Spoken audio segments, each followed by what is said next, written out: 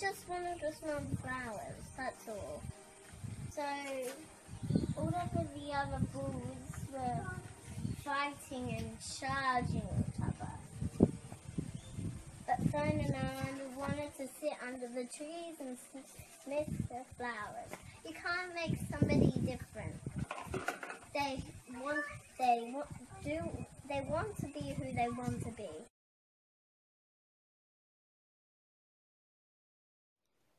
The Story of Ferdinand by Munro Leaf. Illustrations by Robert Lawson.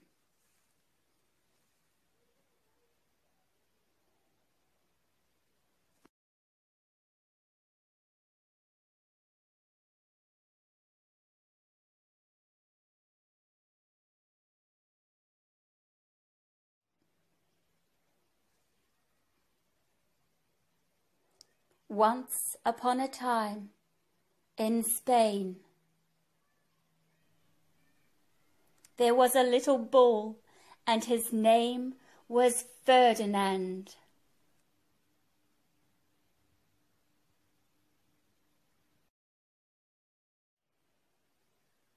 All the other little bulls he lived with would run and jump and butt their heads together.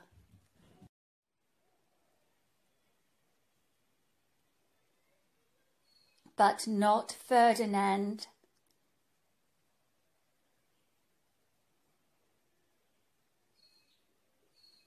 He liked to sit just quietly and smell the flowers.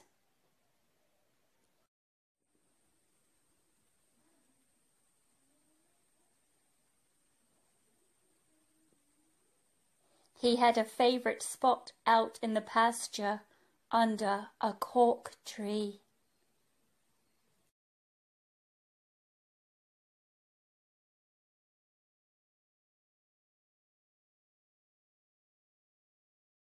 It was his favourite tree, and he would sit in its shade all day and smell the flowers.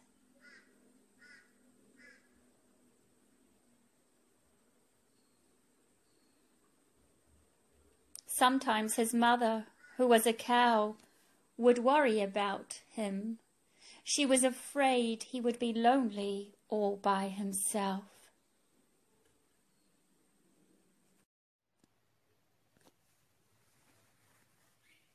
Why don't you run and play with the other little bulls and skip and butt your head? She would say. But Ferdinand would shake his head. I like it better here, where I can sit just quietly and smell the flowers. His mother saw that he was not lonely, and because she was an understanding mother, even though she was a cow, she let him just sit there and be happy. As the years went by, Ferdinand grew and grew until he was very big and strong.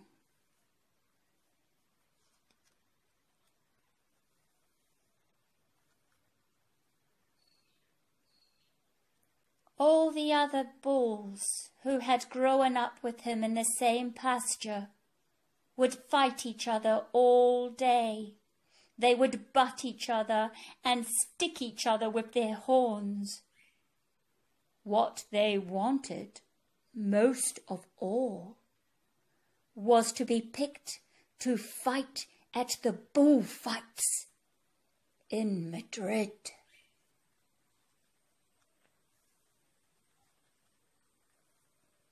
But not Ferdinand.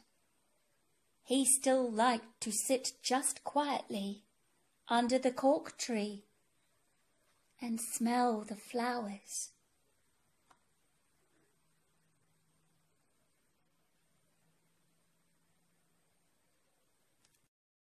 One day, five men came in very funny hats to pick the biggest, fastest, roughest bull to fight in the bullfights in Madrid. All the other bulls ran around, snorting and butting, leaping and jumping, so the men would think that they were very, very strong and fierce and pick them. Ferdinand knew that they wouldn't pick him, and he didn't care. So he went out to his favourite cork tree to sit down. He didn't look where he was sitting, and instead of sitting on the nice cool grass in the shade, he sat on a bumblebee.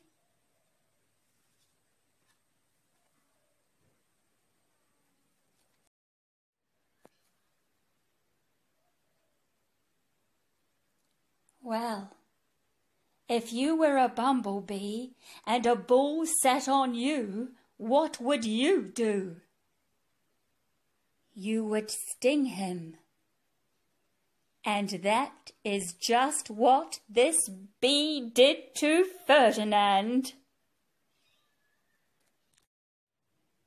Wow! Did it hurt? Ferdinand jumped up with a snort. He ran around puffing and snorting, butting and pawing the ground as if he were mad. The five men saw him, and they all shouted with joy. Here was the largest and fiercest bull of all. Just the one for the bull fights in Madrid. So they took him away for the bullfight day in a cart.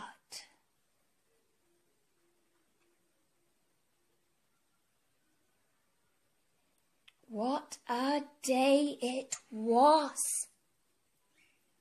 Flags were flying. Bands were playing.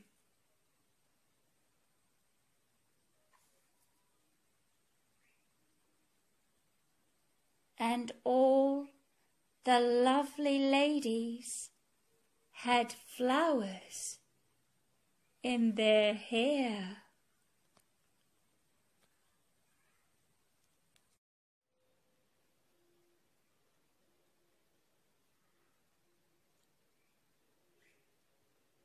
They had a parade into the bull ring.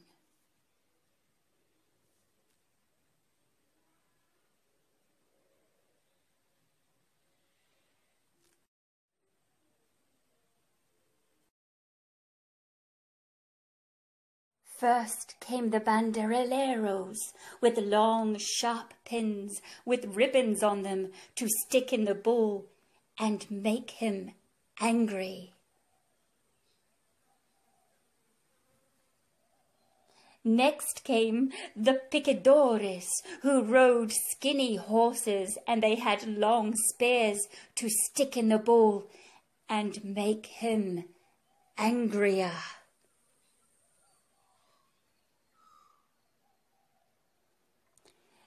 Then came the matador, the proudest of all. He thought he was very handsome and bowed to the ladies. He had a red cape and a sword and was supposed to stick the bull last of all.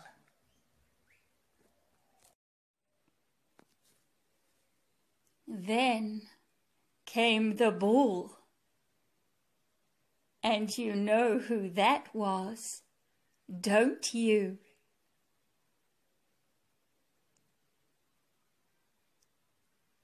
Ferdinand.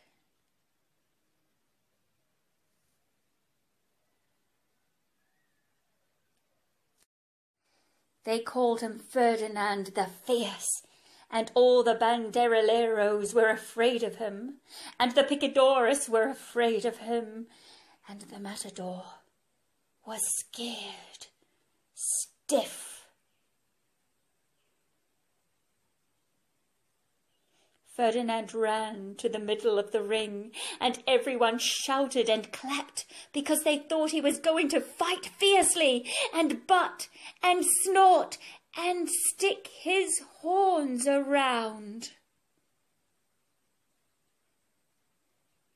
But not Ferdinand.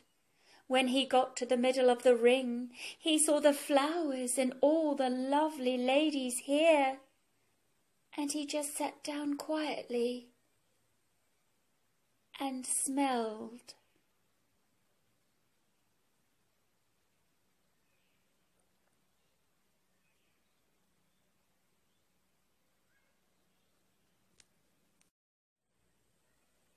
He wouldn't fight and be fierce no matter what they did. He just sat and smelled and the banderilleros were angry, and the picadores were angrier, and the matador was so angry he cried because he couldn't show off with his cape and sword. So they had to take Ferdinand home. And for all I know, he is sitting there still under his favourite cork tree, smelling the flowers just quietly.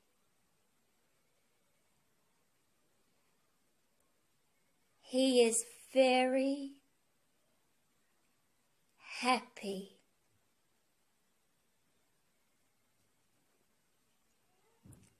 The end.